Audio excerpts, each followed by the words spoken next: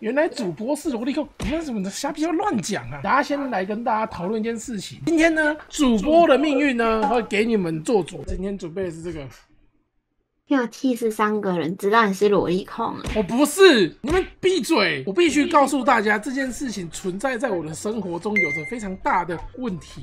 平乳算是洛洛里吗？嗯，我觉得你们先听听我等下的辩解，不不是辩解，我等一下说的事实。恋童怎么富强？不是你们大家都被这个思想给洗脑了，大家都出了一点问题跟状况，所以阿金要被逮捕了吗？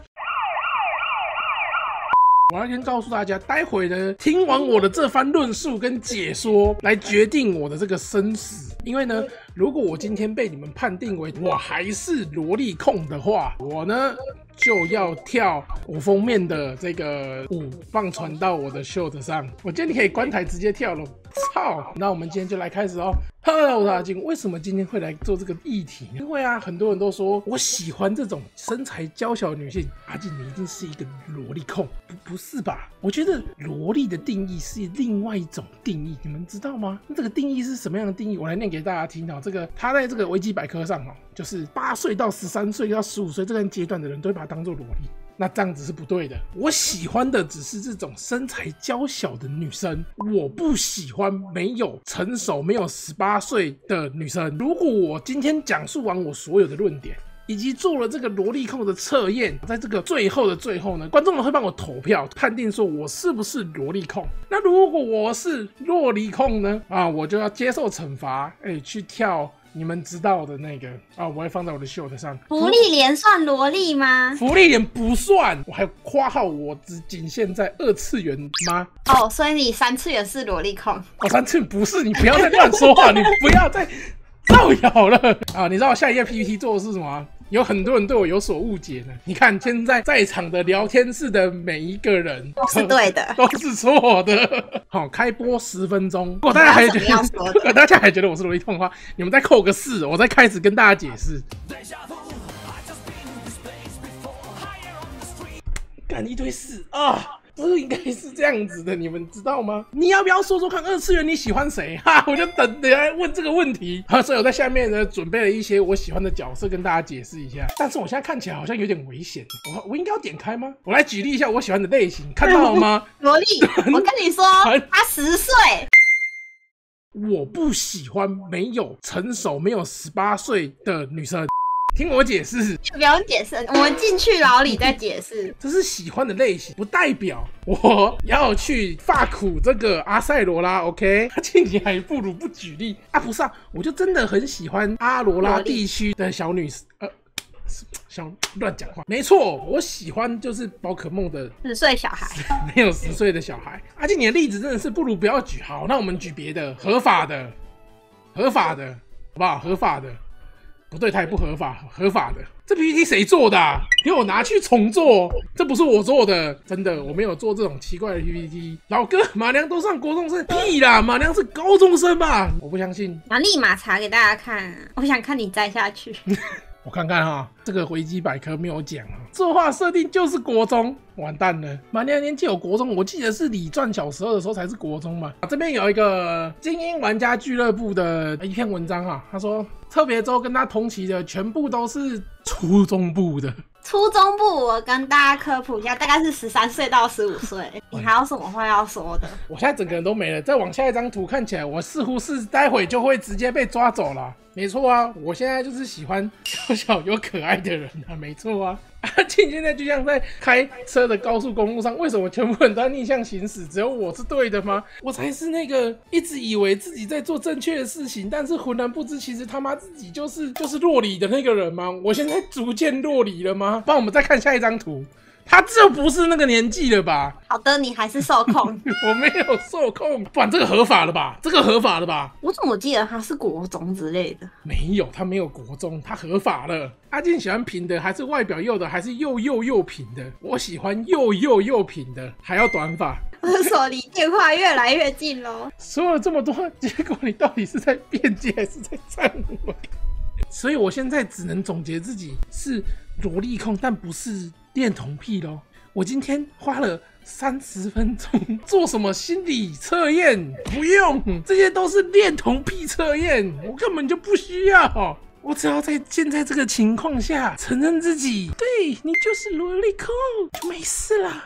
这实在是太不能让我接受了。OK OK，我们开始啊！你这个测验就是白问啊，乱讲！我马上测，说不定这个测验可以还我一个清白。第一个问题是你喜欢这女孩子的类型，尝试描述的一下吧。第一个是有着二次元的动漫美少女的脸，黏在你身边的青梅竹马的美少女。第三个是又美又温柔的女老师，家里附近的小女生。你不要违背你的内心，你想要选家里附近的小女生，对吧？我没有要选家里附近的小女生，是交给龟龟的，我没有要选。而且你选呢，我没有要选。第二题是，如果你理想中的女生出现在你面前，你会做什么？我觉得这是一个犯罪问卷吧。一把他的衣服脱光光，二帮他拍照，三逗他开心，四躲开再说。这个完全就是要犯罪。这个我跟你说，你的脑中有奇怪的思想，在你脑中逗他开心的方法一定有点变态。没有，我选的是帮他拍照。完蛋了，我怎么觉得我脑中的想法怪怪的？第三个，你喜欢的女孩子所穿的衣服是一 cosplay，二裸体围裙，三水手服，四旗袍。怎么会有裸体围裙在选项里面？cosplay 也很危险，裸体围裙很危险，旗袍也很危险。我们选水手服好了。不对，水手服就找了别人的道了。你就喜欢中学生，最好是刚放学的。我没有。好，不行，我们讲了，选了就是选了。第四个问题，你喜欢对方怎么叫你呢？一直接叫你的名字，二名字的后面加上，哎，这个这个要用懂日文的人，加上先生。啊，或者是大哥哥哦，你讲或是主人，我觉得这都有点怪怪的啊。我们就选直接叫名字，比较实际一点。叫先生太远了，叫大哥哥变态死了，叫主人更变态。我宁愿他叫我爸啊！你刚刚要说什么？有没有啊，我宁愿他叫我本名。你说喜欢的女孩子的个性是一正直可爱，不管你说什么都会听，任性又爱欺负人，笨笨的让人无法不顾。我们这边就选个正直可爱吧，好不好？正直可爱啊！下一个问题啊，问题六：会想象理想中的女孩子，并且跟着掉入妄想的世界吗？每天少少，差不多，偶尔。请问他这个意思，我可以翻译。他这个意思大概就是你会……好，我说，我说，我说，哎，我说，我大概知道他意思就是你会不会想着你喜欢的人偷偷的来一发？为什么一定是一发？嗯，妄想的世界都都都都可以，他自己怎么算都可以。问题七，对你来说最萌的场面是一。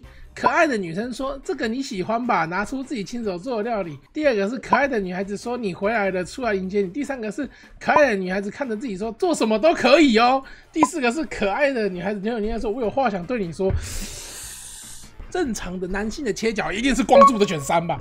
你好变态！我没有很变态，这很正常吧？第八题哈，如果你理想中的女孩子不是处女的话，你会有什么感想？第一个是这没啥大不了的，二这有点难接受，三是绝对不行，四不是处女我不承认啊。我们直接把一给它按下去，这没有什么大不了的，好不好？问题九，对于萝莉控的存在感到可耻吗？一会这么想。二不会这么想，三有的话也不会觉得不可思议。四四周的所有人，包括自己，都只能是萝莉。我觉得这翻译有点怪怪的，有人可以帮我解答解答吗？我也不知道，跟他翻的差不多吧。那就是应该是不会这么想吧。不能去批评任何人喜欢的东西，只要他没有犯法的情况。就像我今天跟大家阐述的，毕竟有谁会批评自己呢？总而言之呢，你有没有想过自己是萝莉控？不会这这么想。二有一点这么想。三大大的这么想。四对自己想不出萝莉以外的形容词。我原本一开始的时候是一，我现在开始有一点二。我应该要贯彻始终，做好自己。